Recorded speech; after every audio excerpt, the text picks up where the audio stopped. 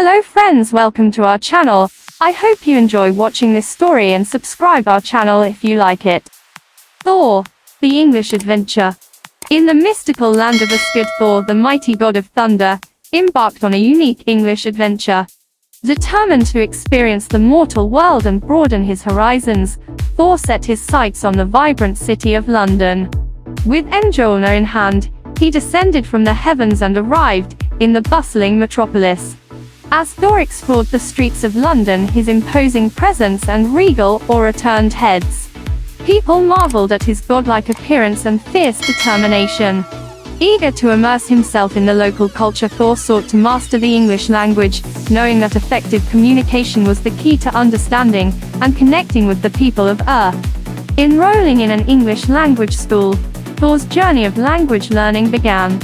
He dedicated himself to studying grammar, vocabulary, and pronunciation, determined to become fluent in English.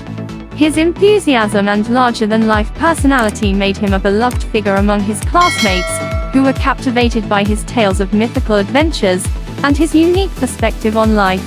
As his English skills improved, Thor ventured beyond the classroom engaging with locals, and immersing himself in the vibrant English culture. From enjoying traditional pub experiences to attending theatre performances he embraced every opportunity to practice his language skills and develop a deeper understanding of the people and their customs. Thor's English adventure not only enhanced his linguistic abilities, but also broadened his worldview. He discovered the power of communication in forging connections and fostering mutual understanding.